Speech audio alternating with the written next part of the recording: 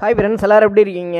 நீங்கள் சவுதி அரேபியாவிற்கு வந்து பயணம் செய்ய இருக்கிறீங்கன்னா உங்களுக்கு இந்த வீடியோ வந்து ரொம்ப முக்கியமான ஒரு வீடியோ முக்கியமான தகவல் நான் இந்த வீடியோவில் வந்து சொல்ல இருக்கிறேன். இந்த வீடியோவில் நீங்கள் வந்து விசா டாக்குமெண்ட்டை வந்து எப்படி வந்து பிரிண்ட் அவுட் வந்து எடுக்கிறது மேலும் உங்களுடைய விசா வந்து உண்மையானதா போலியானதா உங்களுக்கு விசா வந்து ரெடி ஆயிருச்சா இல்லையா அப்படின்ற தகவல்களும் மேலும் சவுதிக்கு பயணம் செய்வதற்கு முன்பு நீங்கள் சில விஷயங்களை வந்து நீங்கள் கவனத்தில் வந்து இருக்கணும். அதாவது நீங்கள் வந்து பார்த்தீங்கன்னா இப்போ சவுதிக்கு வேலைக்கு போகலாம் அப்படின்னா நல்ல சம்பளத்தில் வந்து வேலைக்கு போகிறது தான் வந்து சிறந்தது. ரொம்ப கம்மியான மட்டமான சம்பளத்தில் வந்து வேலைக்கு வந்து போகாதீங்க. எதுக்காக சொல்கிறேன்னா சவுதி அரேபியாவில் வந்து பார்த்திங்கன்னா விலைவாசிகள் வந்து அதிகமாக தான் வந்து இருக்குது அதாவது உங்களுக்கு வந்து செலவுக்கே வந்து உங்களுடைய கம்பெனி என்ன தான் உங்களுக்கு ஃபுட்டு ஃப்ரீயாக ரூமு ஃப்ரீயாக எல்லாம் வந்து கொடுத்தா கூட அதாவது உங்களுக்கு இரநூறு ரியால் வந்து உங்களுக்கு கண்டிப்பாக வந்து செலவாகும். அதாவது உங்களுடைய சொந்த பர்பஸுக்காகவே அந்த இரநூறு ரியால் கூட வந்து செலவாகும்.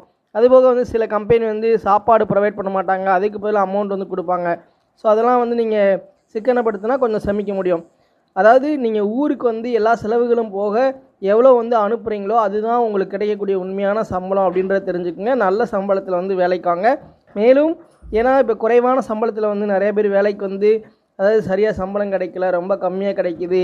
அஞ்சு மாதம் தான் ஆகுது. நான் ஊருக்கு போக முடியுமா? எப்படி போகிறது ஸோ அந்த மாதிரி நிறைய பேர் சிரமத்தில் வந்து எதிர்கொள்கிறாங்க மேலும் அதாவது லட்சக்கணக்கில் வந்து பணம் கட்டி சவுதிக்கெலாம் வந்து வேலைக்கு வந்து வராதீங்க. மேலும் முக்கியமாக நீங்கள் வேலை செய்ய போகிற ஸ்பான்சராக இருக்கட்டும் அந்த நிறுவனமாக இருக்கட்டும் அதை பற்றி நீங்கள் முன்பு விசாரிக்கணும். இல்லைன்னா அங்கே வேலை செய்கிறவங்கக்கிட்ட நீங்கள் கேட்டு சவுதிக்கு வருவது தான் உங்களுக்கு வந்து சிறப்பான ஒரு அம்சமாக இருக்கும் அப்படின்ற ஒரு தகவலை வந்து தெரிஞ்சுக்கோங்க. ஃப்ரெண்ட்ஸ் அதே போன்று ரீஎன்ட்ரி விசாவில் வந்தவங்க வந்து பார்த்தீங்கன்னா நீங்கள் திரும்ப போகாமல் இருந்தீங்கன்னா அதாவது எம்ஓஎல் வெப்சைட்டில் வந்து குரூப் ஸ்டேட்டஸ் வந்து எதுவும் இருக்கா அப்படின்றத செக் பண்ணிவிட்டு நீங்கள் சவுதிக்கு வேலைக்கு வந்து முயற்சி செய்வது நல்லது. ஃப்ரெண்ட்ஸ் உங்களுக்கு வந்து பார்த்தீங்கன்னா இந்த விசா இ விசா வந்து இந்த மாதிரி தான் வந்து இருக்கும். இதை வந்து நீங்கள் பிரிண்ட் அவுட் வந்து எடுத்துக்கலாம். அதில் வந்து உங்களுடைய விசா நம்பரு அதோட வேலிடிட்டி டேட்டு எந்த டேட் வரையும் எக்ஸ்பைரி டேட் வந்து இருக்குது எவ்வளோ நாள் சவுதியில் வந்து தங்க முடியும் அப்படின்றது கொடுத்துருப்பாங்க. அதே மாதிரி உங்களுடைய அந்த விசா ப்ராசஸிங் வந்து இந்தியாவில் உள்ள எந்த எம்பசி அதாவது நியூ டெல்லியில் உள்ள எம் சவுதி எம்பசியா இல்லை மும்பையில் உள்ள சவுதி எம்பசியா அப்படின்றத செக் பண்ணுவாங்க. அதில் எல்லாமே இருக்கும். அதே மாதிரி உங்களுடைய விசா டைப் வந்து கொடுத்துருப்பாங்க. உங்களுடைய நேமு நேஷனாலிட்டி பாஸ்போர்ட் நம்பரு அதாவது இப்போ உங்களுடைய எம்ப்ளாயர் யார் வந்து உங்களை வேலைக்கு வந்து எடுக்கிறாங்க? அவங்க எல்லா டீட்டெயிலும் இதில் கொடுத்துருப்பாங்க. விசா ஃபீஸ் அது போக பார்கோடு எல்லா தகவல்களுமே இருக்கும். இந்த இ விசா வந்து எப்படி வந்து பிரிண்ட் அவுட் எடுக்கிறது அப்படின்றத நம்ம வந்து பார்க்கலாம். ஃப்ரெண்ட்ஸ் நீங்கள் ஜஸ்ட் கூகுளில் வந்து visa dot mofa dot government dot எஸ்சியை நீங்கள் வந்து டைப் பண்ணிங்கன்னா உங்களுக்கு வந்து இந்த மாதிரி பிளாட்ஃபார்ம் வந்து ஓப்பன் ஆகும்.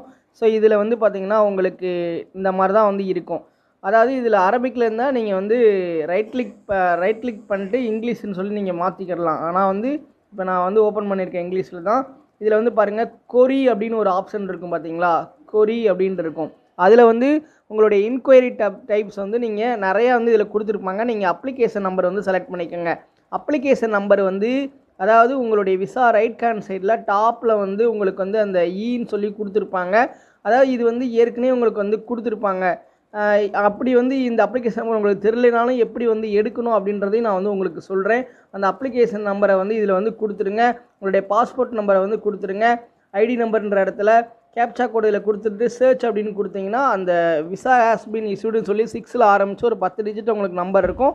அதில் வந்து பார்த்திங்கன்னா அடுத்து உங்களுடைய ஃபோட்டோ உங்களுடைய விசா நான் இதுக்கு முன்னாடி காமிச்சல இ விசா ஸோ அந்த மாதிரி தான் எல்லாமே வந்து இருக்கும் அப்படின்ற ஒரு தகவலை தெரிஞ்சுக்கோங்க. அதாவது ரைட் ஹேண்ட் சைடில் டாப்பில் வந்து பார்த்தீங்கன்னா பிரிண்ட்னு ஒரு ஆப்ஷன் இருக்கும். அதை நீங்கள் கொடுத்து ப்ரிண்ட் வந்து நீங்கள் கொடுத்துக்கலாம் அடுத்ததாக இது வந்து எல்லா விசாக்குமா அப்படின்னு கேட்குறீங்க அதாவது நீங்கள் விஎஃப்எஸ் ஆஃபீஸ் போகிறவங்க அதாவது family visit visa visit visa family resident விசாலாம் வந்து பார்த்திங்கன்னா இண்டிவிஜுவலாக தான் வந்து நீங்கள் அங்கே போய் பயோமெட்ரிக் எல்லாமே வந்து வைத்து இந்த முடிப்பீங்க. ஸோ அப்படி முடிச்சுட்டு அஞ்சு டு ஆறு நாட்களில் வந்து நீங்கள் பிரிண்ட் அவுட் எடுத்துக்கலாம். நீங்கள் மட்டும் கிடையாது இப்போ ஒர்க் விசா கேட்டகரி இருக்காங்களா அவங்களும் இதன் மூலமாக வந்து எடுத்துக்கலாம். யாருக்குமே இப்போ பாஸ்போர்ட்டில் விசா ஸ்டாம்பிங்லாம் வந்து செய்ய மாட்டாங்க. இந்த மாதிரி இ விசா தான். எப்படியும் மேக்ஸிமம் வந்து பார்த்திங்கன்னா ஒரு பதினஞ்சு டு இருபது நாட்களுக்குள்ளே உங்களுக்கு ரெடி ஆயிரும். ஆனால் இப்போ ரொம்ப குயிக்காக வந்து கிடைக்குது. அதாவது ஒன் வீக்கில் கூட வந்து கிடைக்குது அப்படின்ற ஒரு தகவல். இப்போ அந்த அப்ளிகேஷன் நம்பரை வந்து தெரியாதவங்க எப்படி வந்து பார்க்கணும் அப்படின்றதையும் நான் வந்து உங்களுக்கு சொல்லிடுறேன். ஃப்ரெண்ட்ஸ் சவுதி அரேபியாவிற்கு பயணம் செய்கிற அனைத்து நண்பர்களுக்கும் வந்து பார்த்திங்கன்னா இந்த வெப்சைட் வந்து உங்களுக்கு ரொம்ப பயனுள்ளதாக இருக்கும். எதுக்கு நான் சொல்கிறேன்னா அதாவது உங்களுடைய பாஸ்போர்ட் நம்பரை வந்து நீங்கள் இதில் என்ட்ரு பண்ணிட்டு நேஷனாலிட்டி இந்தியானா இந்தியான்னு கொடுங்க ஸ்ரீலங்கானா கொடுங்க. ஸோ எந்த நேஷனாலிட்டினாலும் நீங்கள் அதை கொடுத்துக்கலாம். உங்களோட விசா டைப் ஒர்க் விசாவா விசிட் விசாவா ஃபேமிலி விசிட் விசாவா அது மாதிரி கொடுத்துருங்க. விசா இஸ்விங்க திரட்டி நியூ டெல்லி ஆர் மும்பை இந்தியாவில் இருக்குது ஸோ நீங்கள் உங்களுடைய நாட்டில் வந்து எங்கே வந்து விசா இஸ்விங்க திரட்டி இருக்கோ அங்கே கொடுத்துருங்க. உங்களோட இமேஜ் கூட அதில் கொடுத்துருங்க. இதில் கொடுத்துட்டிங்கன்னா அதாவது ரைட் ஹேண்ட் சைடில் டாப்பில் வந்து பார்த்தீங்கன்னா உங்களுடைய ஃபோட்டோ பார்கோடு பக்கத்தில் இ அப்ளிகேஷன் நம்பர் வந்து இருக்கும். ஸோ அந்த தான் வந்து பார்த்திங்கன்னா அப்ளிகேஷன் நம்பரு அப்படின்றத தெரிஞ்சுக்குங்க. அதே மாதிரி மற்ற தகவல்கள் உங்களுடைய பாஸ்போர்ட் டீட்டெயில்ஸு எக்ஸ்பிரி டேட் எல்லாமே இருக்கும். முக்கியமாக ரெண்டு பார்கோடு வந்து உங்களுக்கு இருந்துச்சுன்னா உங்களுக்கு எல்லா ப்ராசஸ் வந்து கம்ப்ளீட் ஆயிடுச்சு நீங்கள் ரெடி டு டிபார்ச்சர் அப்படின்றத தெரிஞ்சுக்கோங்க. உங்களுடைய விசா வந்து கம்ப்ளீட்டாக ரெடி ஆயிடுச்சு அப்படின்ற ஒரு தகவலை வந்து தெரிஞ்சுக்கோங்க. இந்த வெப்சைட்டில் வந்து செக் பண்ணும்பொழுது உங்களுடைய விசா டீட்டெயில்ஸ் எல்லாமே வந்துச்சுன்னா உங்களுடைய விசா வந்து உண்மையானது எல்லாமே ரெடி ஆயிடுச்சு அப்படின்ற ஒரு தகவலை தெரிஞ்சுக்கோங்க. ரெண்டு பார்கோடு வந்து இருக்கணும். அந்த அப்ளிகேஷன் நம்பர் இதன் மூலமாக எடுத்துக்கிறலாம்.